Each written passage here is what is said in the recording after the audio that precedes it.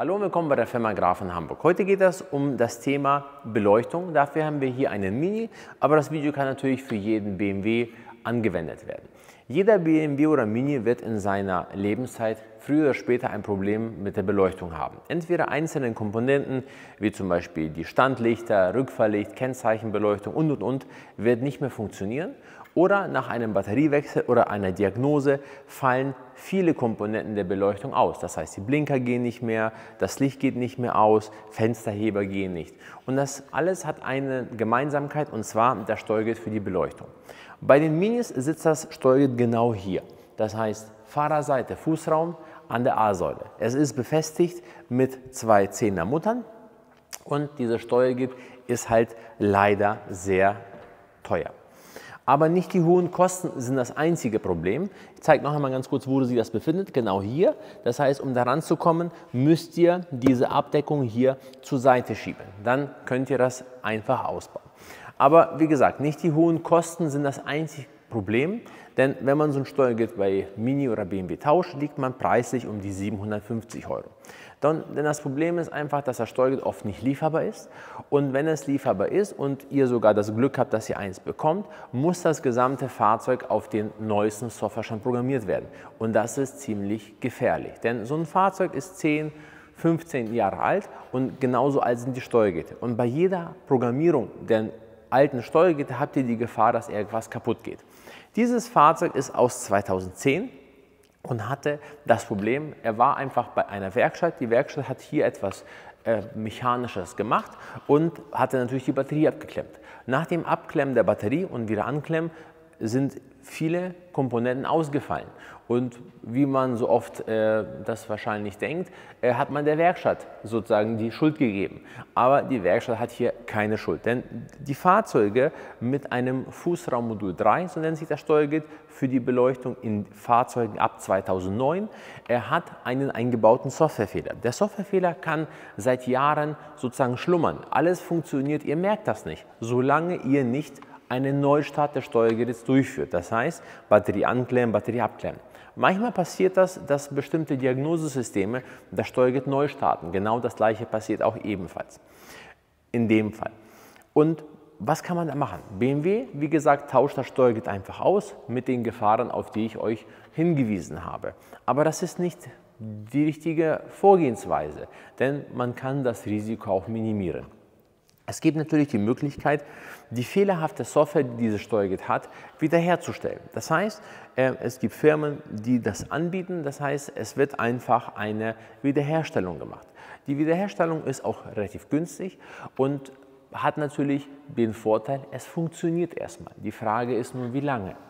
Und sowas kann einen Monat funktionieren, ein halbes Jahr funktionieren, vielleicht auch ein Jahr funktionieren. Doch früher oder später kommt das Problem wieder. Und deswegen haben wir nach einer Lösung gesucht und sind auch fündig geworden, dass man das Problem nachhaltig löst. Das heißt, wir haben die Möglichkeit, euer Steuergerät mit einer modifizierten Software zu bespielen, damit dieses Problem, dieses Softwareproblem auch in Zukunft nicht mehr passiert. Denn wir wollen Ruhe haben und ihr sicherlich auch. Natürlich hat das seinen Preis, es ist teurer als die andere Lösung, aber es ist halt nachhaltig und man hat halt Ruhe.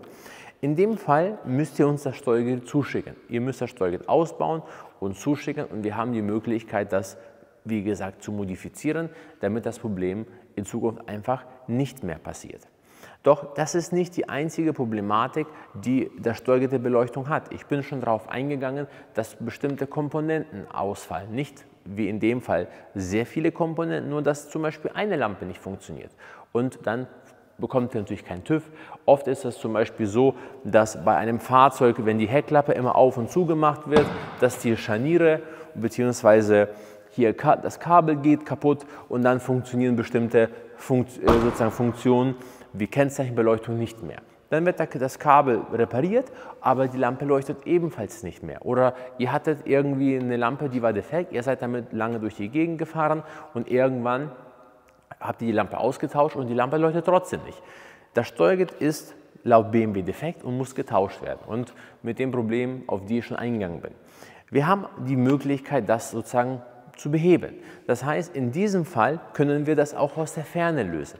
Dabei schicken wir euch ein Kabel oder ihr bestellt euch selbst ein Kabel, je nachdem, was ihr für ein Fahrzeug habt. Und dann können wir aus der Ferne das Steuergerät, was ihr habt, modifizieren. Das heißt, modifizieren mit einer anderen Software, damit dieses Problem in Zukunft nicht mehr passiert. Denn genauso, was bringt es euch, wenn ihr zum Beispiel jetzt ein Problem habt mit der Kennzeichenbeleuchtung, die nicht leuchtet? Die kann man theoretisch freischalten. Zwar nicht bei BMW, aber kann man theoretisch freischalten. Morgen ist das der Blinker nicht mehr, der funktioniert. Übermorgen ist das zum Beispiel das Fernlicht.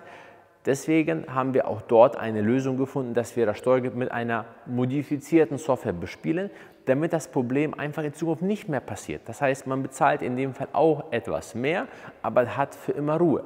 Deswegen, ansonsten zahlt man immer und immer und immer wieder für bestimmte Freischaltung der Funktion und hat da keine Ruhe. Wenn ihr an sowas Interesse habt, schreibt uns eine Mail, ruft uns am besten an und dann werden wir euch behilflich sein. Vielen Dank fürs Zuschauen und bis zum nächsten Mal.